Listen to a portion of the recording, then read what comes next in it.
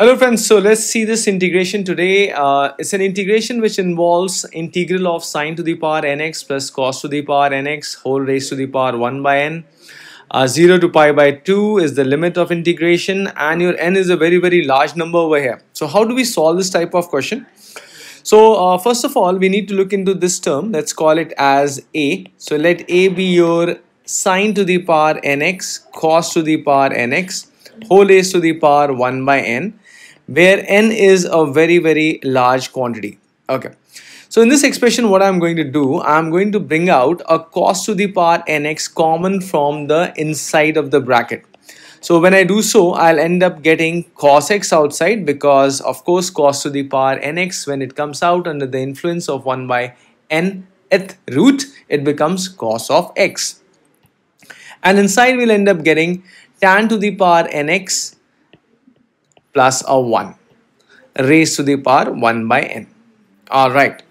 Now let us segregate this term out. So let's segregate the term limit of tan to the power nx plus 1 to the power of 1 by n out. Now this is something which is actually uh, depending upon where is your x lying. So I'll break it I'll break this into two cases. If your x lies in the interval 0 to pi by 4 so basically I have decided to take those values of x for which tan x value is lesser than 1 so if I take this interval we know that tan of x value will be between 0 to 1 right that means it's a fraction and if you raise a fraction to a very very large power right where n is a very very very large number such a term will start giving you a 0 in other words this entire expression b becomes 0 plus 1 divided by 1 divided by a very large number. That's close to 0 so this is definitely going to give you a 1 right?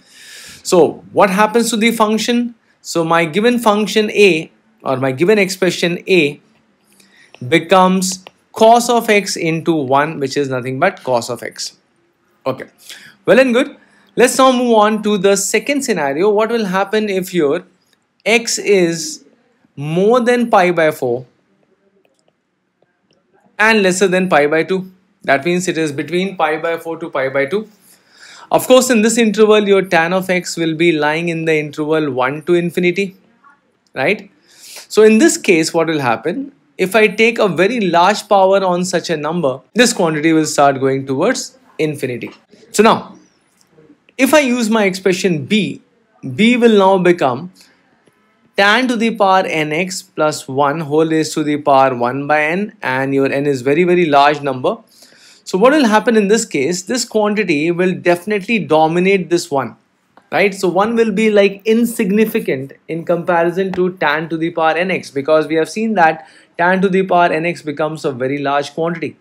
So overall you can write b as if you are writing tan to the power nx whole raised to the power 1 by n and of course your n is a very large number here so that means your b becomes just a tan x okay so in light of that my a becomes nothing but cos of x into tan of x which is nothing but sine of x right so what have I done here I have redefined this function which function I have redefined this function depending upon my intervals of x. So I have redefined it in two ways. One is your cos x and this is valid when your x lies in the interval 0 to pi by 4 and it is defined as sine x when x lies between pi by 4 to pi by 2 okay. So this makes the integration super easy. So if i'm integrating this function it is as good as integrating cos x under the limit 0 to pi by 4 and sin x under the limit pi by 4 to pi by 2 right? And these are simple integrals to perform. Cos x integral is sine x. Limits of integration 0 to pi by 4 sine x integral is negative of cos x from pi by 4 to pi by 2. So let's see how much does it give.